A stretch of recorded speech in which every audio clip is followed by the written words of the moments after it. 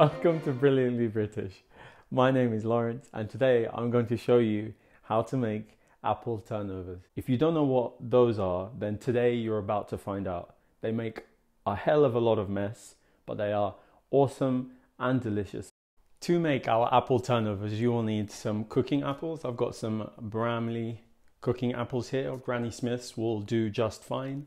A lemon, cinnamon, brown sugar, some apple cider vinegar, some not shop bought inverted puff pastry. Um, if you want to learn how to make this yourselves, just click on the link over there. And of course, as always, you need to stay hydrated whilst you cook, so get yourself a nice cup of hot tea. First thing we're going to do is prep our filling for our apple turnovers. And so what I've done is I've diced the apples into pieces about this size. What I've done, I've uh, put two thirds of the apples in one bowl and a third in the other. I've juiced the lemon and now what I'm going to do is pour, try as much as I can to divide the lemon juice. Um, we do this to prevent the apples from browning and losing their color. Just stir that in into the third part of our apples, we're going to pour in our sugar, put in a tablespoon and a half of the apple cider vinegar. Mix that together. This smaller portion of apples is now going to go into the microwave uh, to cook the apples. If you don't have a, mi a microwave or you just choose not to use one, you can do this on a pot on your stove. Our apples are nice and hot and cooked and when I taste them, oh, beautifully tart but at the same time sweet, beautifully balanced in flavour. Now what we're going to do, we're going to blend this until smooth to form a rich compote that is going to be a major component of our filling.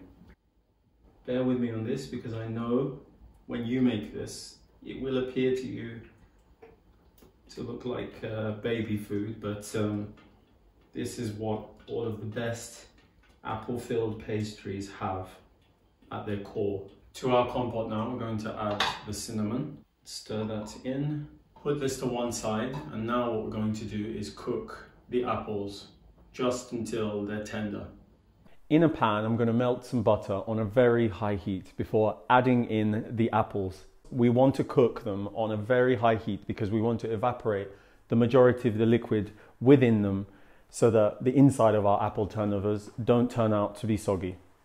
Now we're going to transfer our apples back into the bowl. Then our compote is going to be added to the apples. I'm going to mix that together gently. don't want to break the apples down. I can tell you this smells amazing smells the whole flat here for me smells of apples. And apple turnovers really is something really cheap cheap and easy that um, most people in the UK can just pick up in any supermarket they're widely available and we just we love them. Anything with apples to be honest in the UK we we adore. Okay the filling for our apple turnovers is ready and we're going to put this to one side to cool down and then focus on our pastry. As you can see with our puff pastry I'm rolling it out before trimming each and every one of the edges to make it a nice rectangular shape, dividing it. Lightly brush each of the divisions on all sides with water. This helps them to stick when we fold them over.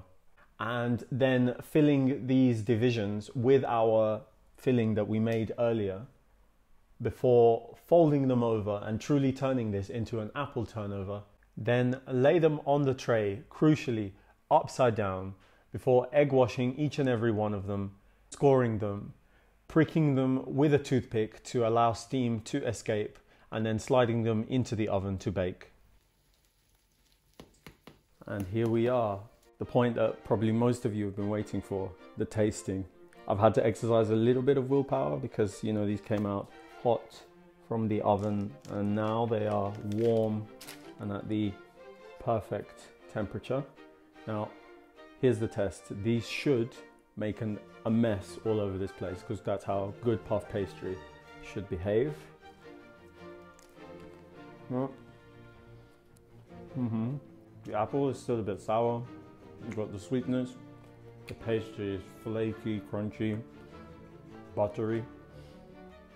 Honestly, this is such an amazing snack and of course accompanied with tea. Got to be done. Mm. Yep. It makes a mess.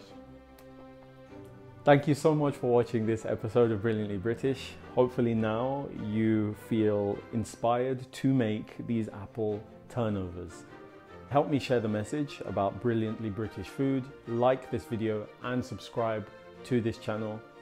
I will see you next time. Bye bye for now.